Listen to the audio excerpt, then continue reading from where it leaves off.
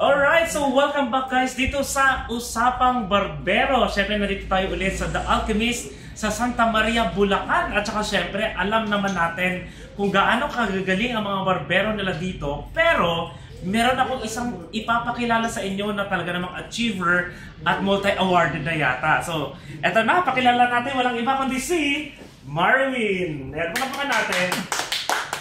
Yan, kumusta Marvin? Ah, okay naman. Okay, so bago tayo guys sa mga usapan natin, ito muna, bigyan natin ng konting ah, information yung ilan sa mga viewers natin. Maaari no na kayo ay nagtatanong, ano nga ba yung mga gamit na mga ginagamit ng mga barbero? So, titingnan natin dito, parang punong-puno ang station ni Sir Marvin dito. Pero Sir Marvin, saan dito yung madalas mong ginagamit talaga kapag may customer ka? Ito sir, ito itong mga to. Okay. So, Tapos- anong tawag dito? Ito sir, pang bird to, pang bird. Bird yung lumilipad? Hindi sir. Dito? Oo, pang balbas. Di ba sir yung lumilipad Oo. eh? So yung uh, ano nito, ito ay parang na, kailangan pang lagyan nito kaya may mga ganito kayo dito. Hindi na sir. Ay, Ah, kulay pa yan. Matic na siya sir na Okay. zero na. Mhm. Zero na. Okay. Pero may bala siya, hindi ko na dinala eh. Mhm. Kasi pag uh, mag-aahit naman kami dito, kailangan zero na rin eh. Oo. Para pag uh, nilabaha, So parang shaver ang tawag dyan, hindi? ah detailer sir. Detailer. Mm. Hmm, mga detailer mo pala, alam lang natin, shaver lang. Pero shaver sir. Oo, kasi ito yung shaver, ginagamit nyo to sa mga customer nyo na nagre-request ng mga, ano din, mga Ahit. ahit Papahit, talaga. papashave. So ano, ano yung pwede yung iahit lang? Yeah, it, Oo. Ano lang pwede ipaahit sa inyo? Sir, sir, siyempre balibas lang. Tsaka sa ulo. Pwede yun. Sa taas ah, hindi sa baba. okay. Correct. Pero itong mga clippers yun ang mga nandyan, saan, saan ginagamit yan? Ito po sa guide to guide. Ah, okay, guide lang siya. Guide to sa kung kung gusto mo kung gaano ka nipis Mhm. yung So may numbers pala ito kung sir. point ito 0.5, Ah, Okay. 1.5, number 2. Mhm. Ayan. Sunod-sunod siya sir hanggang 6, hanggang 8.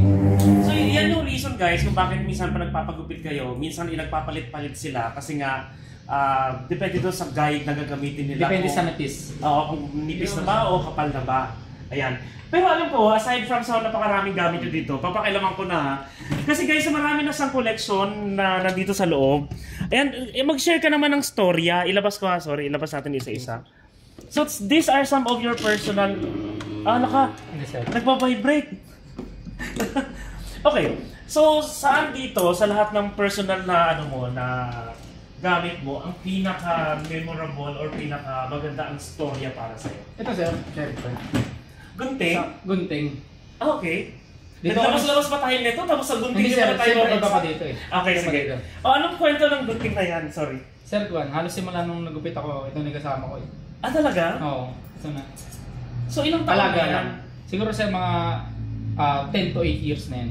Oo, kasi po sabi niya, nasa Talaga 7 to 8 years na siya nang gugupit professionally. Mm. Na nagpa-practice mga 2 years, gano'n. So ano to, personal money mo na pinambili mo sa gunting na to? Oo, or sir. Personal. May- yung kinikita na rin. May nag-sponsor? Wala, sir. Yung Sabi nila may nag-sponsor. Wala ba? Hindi ka yun? Sir. Hindi. inosente, inosente. so pera mo to, no? Oo, sir. Okay, pero Merwin, tanong ko, ilang taon ka nung nagkaroon ng interest na manggupit at talagang yung literal na nag-practice or nag-training? One, sir, eh. 20. Kasi lumaki kasi ako, sir, sa may barbershop. Ah, okay. Grade 5 pa lang ako, doon ako lumaki. Sa may, yung tito ko kasi may barbershop, may salon. Mm. Ngayon, eh, walang, what, ano to? Walang kakayahan yung magulang ko magpaaral sa amin. Doon ako pinag, doon ako pinush sa magulang ko. Ah, okay. So nag-barber ka na. Hindi sir, nung una, kahera, ay kahero, Mm. tigawalis, tigaluto Ah. mga pagkain ng mga Assistant, tao. assistant Mm, muna. ganun. Tapos nung una kasi, yung utol ko rin kasi, doon siya, grade 4 naman siya, grade 5 ako napunta doon eh. Okay. Tapos yung utol ko na una, na- ngayon nainggit ako, Okay. na sumama sa kanya doon. At least sumama naman ako sa kanya. Ganun lang din yung ginagawa niya. Nandun sa nagtagal, nag-aral siya maggupit. Nung nag-aral siya maggupit, nakikita ko ganun na kumikita siya. Mhm. Para ka kung ang ganda ako, nabibili niya yung gusto niya. Ngayon, ginaya ko naman siya. Pero wait lang, yung training mo ng paggugupit sa loob na mismo ng barbershop o yung sa mga tropa-tropa lang? Sa loob ng barbershop, sir, ah, kumukuha ko ng mga ah, mga basurerong bata. Oo. Okay. Para hindi magreklamo ka kahit kapag hindi Hmm. patay yung gupit, eh, no? Tapos, bibigyan ko sila ng pera. Ah, so binabayaran mo Hmm, pa para limang piso, gupitan? ganun. Okay. Tapos kinabukasan, pagbalik nun, marami na sila. O di masalo ka matutulong maggupit. Pero wala namang umiyak. Wala naman, sir. Okay, so Wala. yun yung Mas- magandang yung mga balita bata kasi, yung mga bata kasi, gusto gusto pa nila may maguguhit. Kahit na medyo napaluwang minsan yung guhit mo, walang problema sa kanila eh. Okay, so sinasabi mo na aside from panggugupit is nag-art ka din. Oo naman, sir.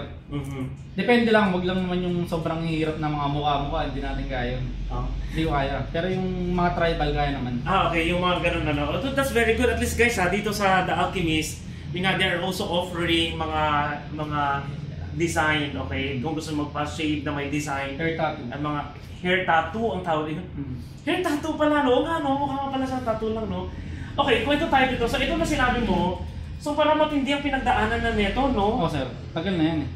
Pero So- sir, tingin naman naman, alagang-alaga. Kaya nga eh. Pero, are you willing na i-donate to sa mga sa ibang tao? Hindi, sir. ah. Ayaw mo. Ayaw dyan. Memorable sa akin yan, sir eh. Okay, so that's very good. So dito guys, nakikita nyo, ang dami nilang gunting. Ayan, so sige, orient mo tayo ng konti dito sa gunting. Ito, sir, ah, lumaban ako ng online ng barbershop. Ay, ng barber battle. Online lang? O Online during lang. pandemic? Hmm, during pandemic. Tapos, Hmm. ah, yun. Yung nakalaban ko, binigyan niya ako. Oh? Ay, binigay niya. Yung nakalaban mo, yung tinalo mo, Hindi ko naman, parang naging tayo lang kami dun eh. Oo. Ah, so binigyan ka niya ng Oo, gunting. binigyan niya ako ng gunting. It's nice. So guys, kasi FYI, and si Marvin po, eh, sumali na yan sa mga competition. So we have uh, Hair Asia. Hair Asia at saka And Phil Phil Hair. So, kwento mo naman, ano yung mundo ng mga competition ng mga barbero? Kasi focus tayo sa ano sa Hair Asia. Anong anong pinaka interesting part ng pagiging barbero ka na part ka na ganong klaseng competition? Ah, funny. Sobrang hirap din pag lumaban ka. Okay. Yung, ano to, nakakaba. Grabe. Grabe yung kaba. Pero yan yung first mo na na competition, yung Hair Asia? Or yung Oo, yun. Hair Asia yung Tapos una? sumunod yung Philher. Para yung March 2023 lang parehas. Yung isa March 21, Mhm. at ako 26. Tapos yung isa naman ah, 29 ng March din. So pag anong klaseng competition, ah, Marvin, ano yun? More on gupit lang ba? O Ah, kasama yung pagkulay? Sa, Anong yung- ginagawa doon? Sa Asia po, ah, kukulayan mo na. Okay. Prepare na yung kulay niya. Tapos dadalhin mo doon, gugupitan mo. 30, may oras yun, 30 minutes. 30 minutes lang, pero yung normal na gupit nyo, mga 45 minutes O, to 45 one to 1 no? hour dito. Kasi iba yung sa competition, iba yung galaw mo sa competition. May Sa client. Oo. Sa client. Yun, kailangan syempre, doon kasi sa, kwan, sa competition, ah, kailangan kakaiba talaga. Mhm. Yung walang kagaya, yung gagawin mo. Siyempre kapag alam natin competition yun, lahat ng mga magagaling ipapadala doon and ikaw pinadala ka doon at the same time nasa tawag nito nasa ano ka doon nasa finalist or nasa placer ka Hmm. nung competition na yun. Ano yung pakiramdam na parang teka lang, ang dami ko nakalaban doon pero nakasama ako sa first, second, or third. Sobrang saya, sir. Kasi ako, sabi ko nga, ayaw ko talagang sumali. eh. Mhm. Tapos pinusya ko ng mga tiga sa amin eh. Ah, kasi may organization kami sa amin. Ah, pinush nila ako na sumali talaga. Kaso ayaw ko ako. Tapos sabi nila sa akin, wala naman Nasasaktan mawawala. ka nila kung hindi ka sasali, tama? Di ba yung mga Walang- grabe yung ginawa nila sa'yo nung napananakot? At Walang ganun, sir. Walang ganun. Wala bang ganun? Tapos ganun sir, ah, di yun nga. Tapos sinabi naman nila sa akin, wala naman daw mawawala. Try ko, sabi ko, gusto kong may certificate ako na makita sa bahay. Mhm. Yun, eh pinalad. Nag-second Oo. place naman. Okay, so nag, nag, ano, ka, nag-fill hair ka na. So ito kay Rini Salod, tama ba? Ricky. Ah, Ricky, Reyes. Ricky Reyes, sorry.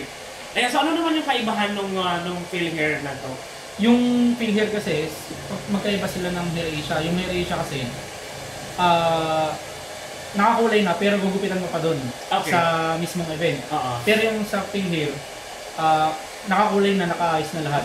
I-present mo na lang, parang modeling lang gagawin, mangyayari. Ah, okay. So mas ano siya, mas ready na bago Hmm, mas ready sa na. pinaka Nakabihis na, hindi ka gaya sa may kuan sa may hair Asia. Bibihisan mo, Mm. pero doon mo gugupitan. Mm. Kasi may kulay, yun lang. Well, anyway, uh, yung Alchemist no, is very proud to have you as part of the team. And pero tanong ko sa'yo, with your uh, number of years, di ba? 7 to 8 years ka nang nagugupit. Plus, uh, itong mga recognitions pa na natatanggap mo. Ayan, so, normally, mas malaki ba ang tip ang mas natatanggap mo because of that? Or ano? Kasi yung iba nagsasabi na iba nakakatanggap ng 3,000 na Sa tip sa isang araw. Sa amin kasi sir, ah, yun nga. Nung nanalo kasi ako, uh, inawardan pa ako ng munisipyo sa amin eh. Oh, oh katuhan naman. no? Inawardan pa ako ng munisipyo sa amin tapos yun Tapos nga. binigyan ka ng bahay at lupa? At Hindi sir, sasakyan? inooperan. Inooperan ng mga barbershop ng mayor. Okay. Gusto, gusto nila, kuhanin ako mag-manage ng barbershop kaso nga lang, Pero yung sasakyan hindi mo tinanggap? Wala Hindi, pa sir, binigay si Mayor? walang Wala? ganun, sir, walang Hindi, ganun. hindi, joke lang. Ito guys, kung sino man po si Mayor dyan, hindi, joke lang. Okay, bago tayo magkaseryosuhan, ito na, so ito na, nagkwento muna sa atin yung ilang part ng mga gunting, no? So lapit na lang natin yung camera natin.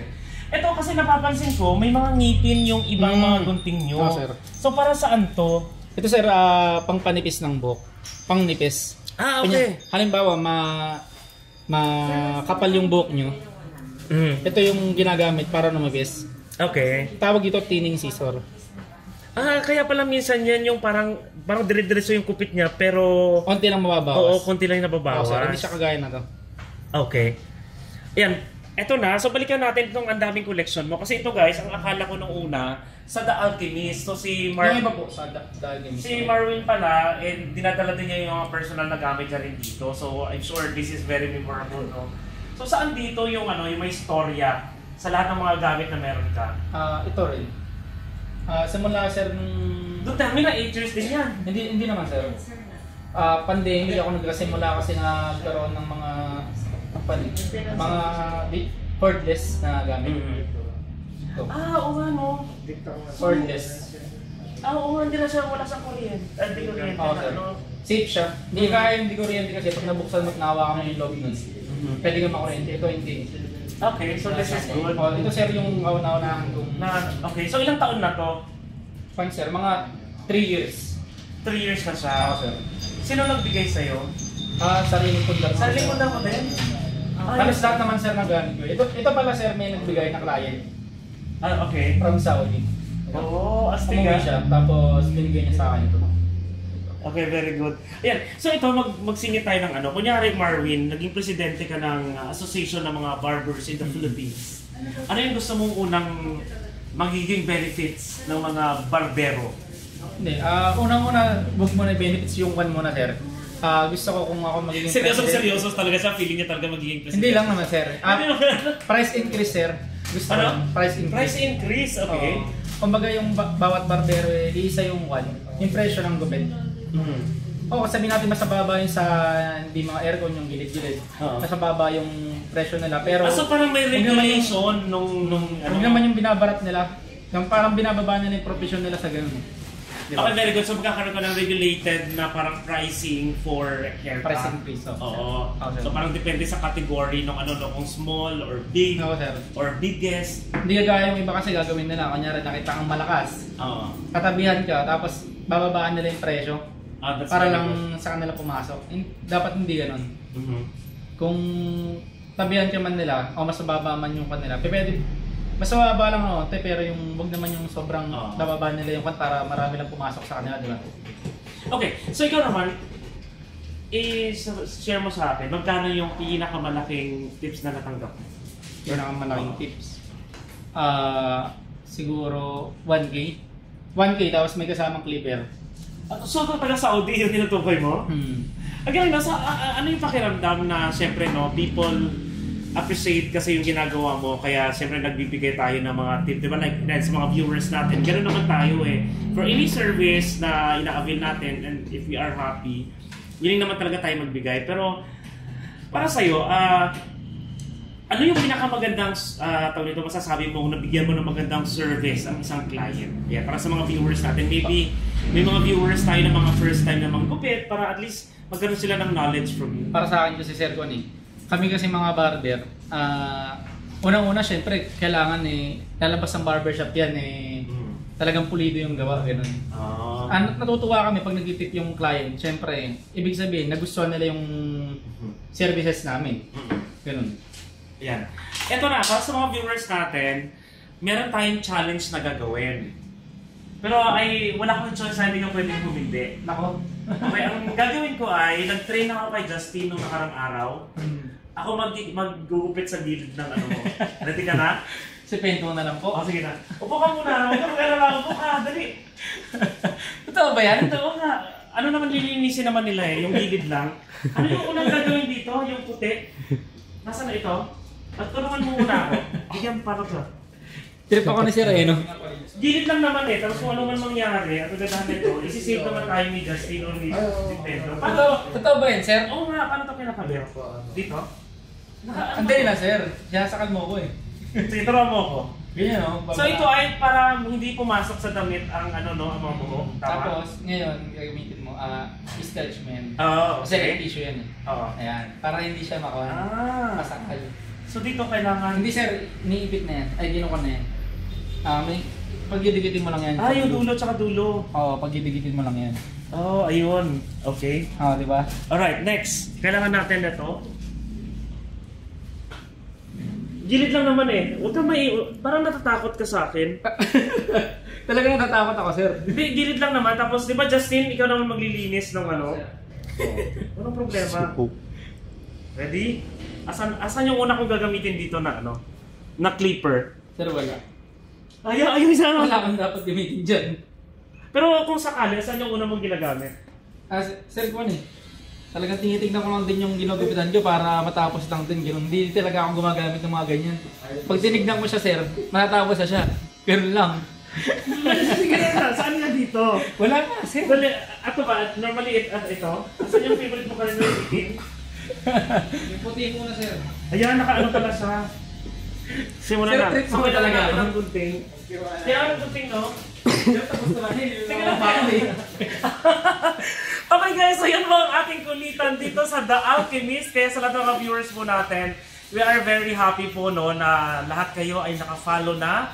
At syempre, nagla-like ng ating Facebook page. Pero sa mga hindi pa, don't forget po to follow us para naman ah, dito eh makikita niyo yung mga happy clients natin, kundi mga informative at mga kulitan ng mga contents. Kaya po, if you are looking for uh, a barbershop, not just a barbershop, pumunta na po kayo dito sa The Alchemist. Nandito po kami sa Santa Maria, Bulacan. Uh, opposite lang po kami ng Land Bank. Yeah, so maraming salamat for watching Usapang Barbero. Thank you, Marvin. Marwin. Good.